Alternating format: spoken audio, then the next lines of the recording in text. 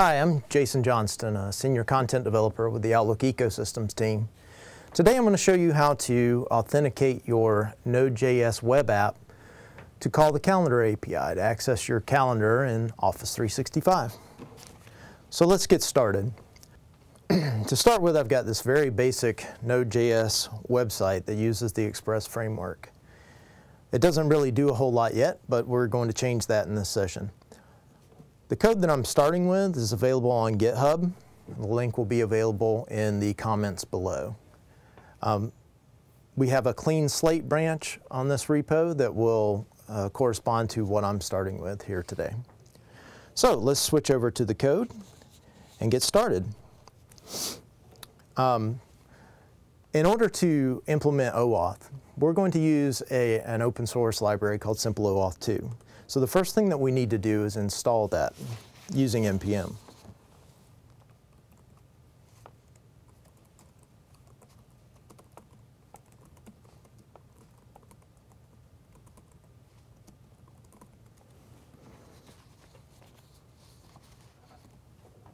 Okay, now that we have that installed, we can go ahead and make use of it. So we're going to add a file to our project here to hold all of our author authentication methods called authhelper.js.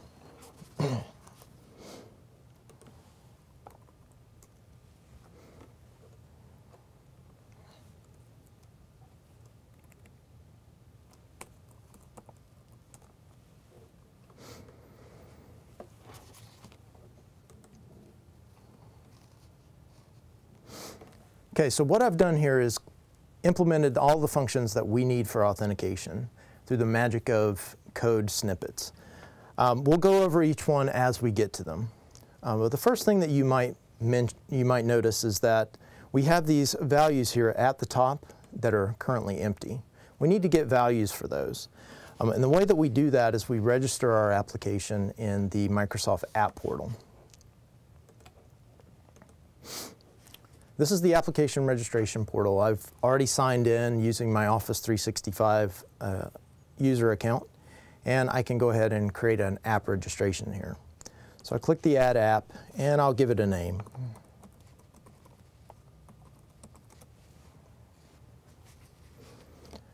Once this is done, we will have an application ID, which we'll use for the client ID value in our code.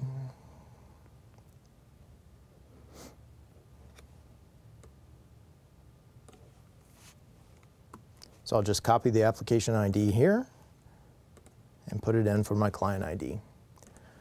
The next thing that we need to do is get a client secret. Uh, we can do this here by generating a new password.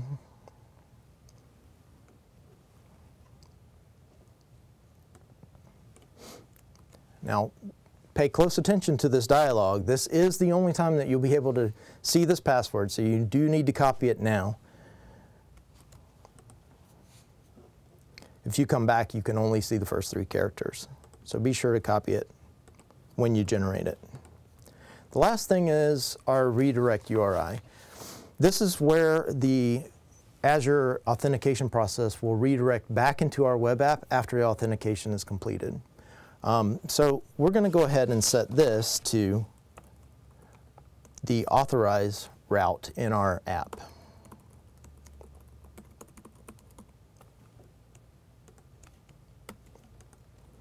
Now we do need to also specify that in our application registration. The authentication process will only redirect to URLs that we have pre-configured in our registration.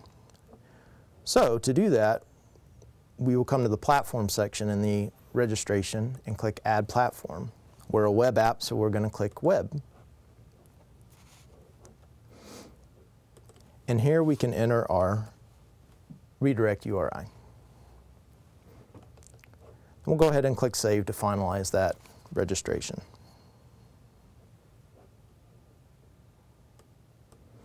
We'll sw switch back to the code while that's saving. The next thing you might uh, notice is the scopes array. This is where we specify what permissions our application needs in order to function. Um, I've only included three here. Uh, OpenID will allow the authentication process to tell us a little bit of information about the user, such as their display name and their email address. We will use that later, so we include that here. Offline access is important if you want to be able to have continuous access to the user's data after that initial logon process. That's, that's accomplished by getting a refresh token as part of the authentication process, which you can then silently acquire new access, access tokens as they uh, expire. And finally, we have this calendars.read scope, which will allow us to read the user's calendar. And we'll see that in action. Now, the first export that we have in this auth helper module is the get auth URL. All this does is use the simple OAuth 2 library to generate the sign-on URL back to our Azure authentication endpoint. This is the first function that we're going to make use of. So we'll switch back over to our uh, app.js and find our home page. Currently, we are just uh, setting a hash URL for the uh, logon button. So we'll replace that by using that get auth URL function.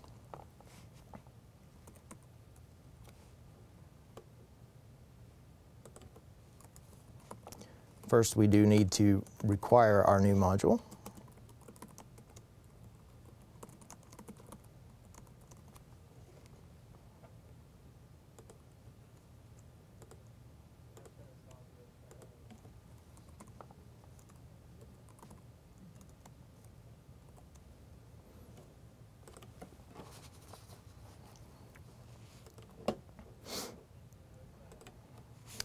Okay, so now our button should have a valid link when we rerun the app. But before we do that, let's go ahead and, and implement some of the rest of it. Uh, we set our redirect URI to go to an authorized route in our app, which we currently don't have implemented. So let's go ahead and add that.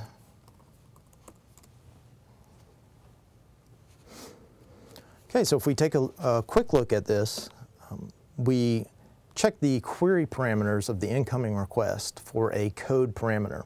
This is how the um, Azure auth process gives us back the authorization code that we need to exchange for a token.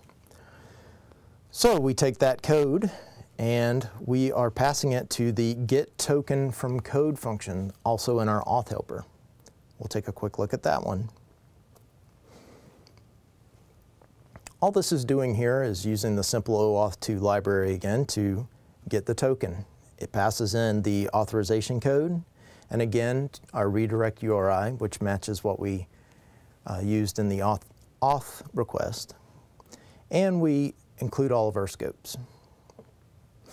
This is going to call back into a callback function, which we specified in app.js, token received. Again, we haven't implemented that yet, so let's go ahead and do that so we can get this up and running.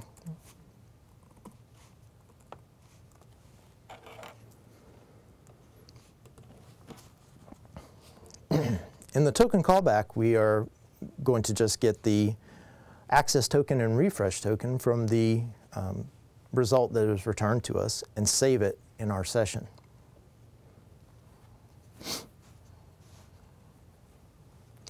And finally, we will redirect to a login complete page. Let's go ahead and add that, and then we should be able to actually see this in action.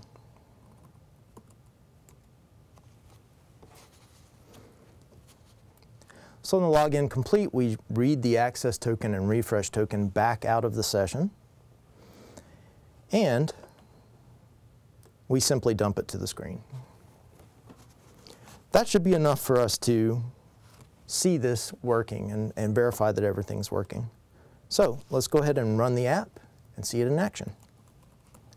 Okay, now if we uh, rerun the app, we will see that uh, clicking the sign in button actually takes us to the login page.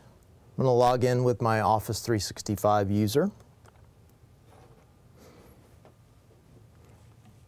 And once the authentication process is complete and we're redirected back into the app, I can see that I have my access token. So great, everything's working. So now that we're logged in, we can do some things, some interesting things with the data. The first thing that we want to do is actually get some information about the user themselves. Um, and the way that we're going to do that is by using the ID token. We already have a function in authhelper.js that can extract the user's email address from the ID token. The ID token is returned to us along with the access token and refresh token as part of the authentication process. So let's add a function in our token received to call this get email function and save it in our session.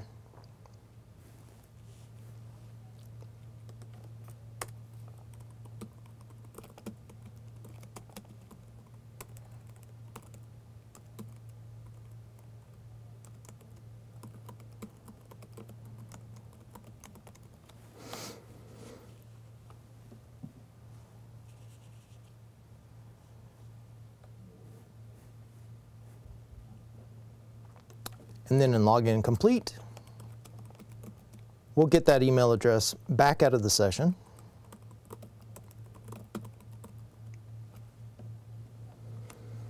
And instead of just dumping into the screen, we'll pass that email address to our login completed page template.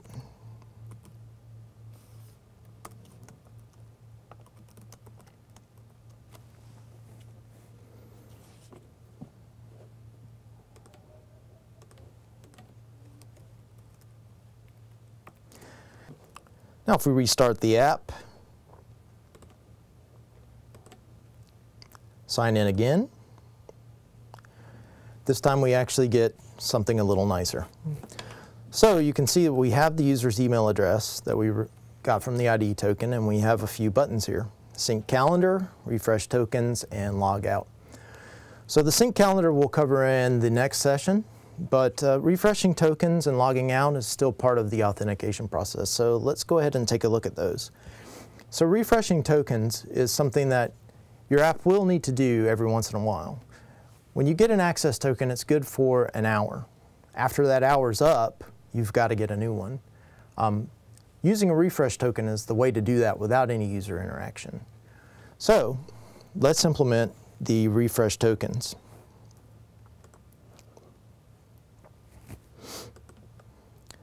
I'm going to start by adding a refresh token route to our app.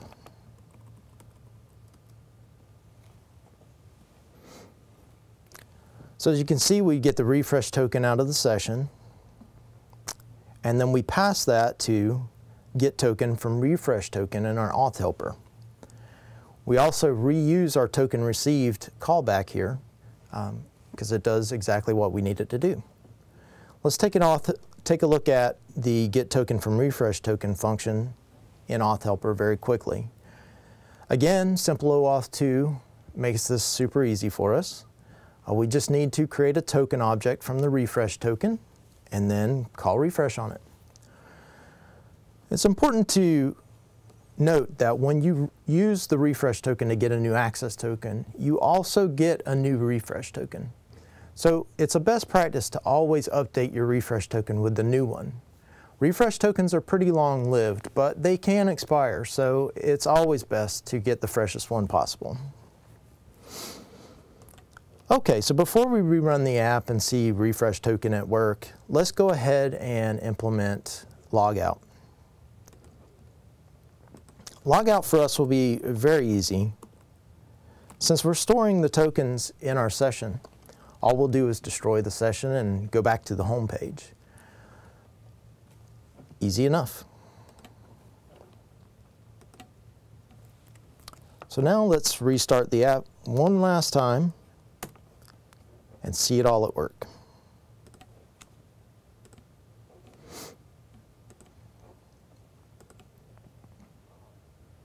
Okay, and if we sign in, now we can refresh the token. Now, didn't really do anything that we could see, but if we take a look at our console output, we can verify that we got a new token.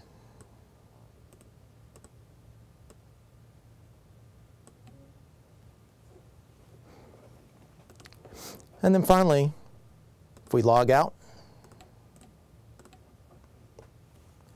we're right back to where we started. And that's it.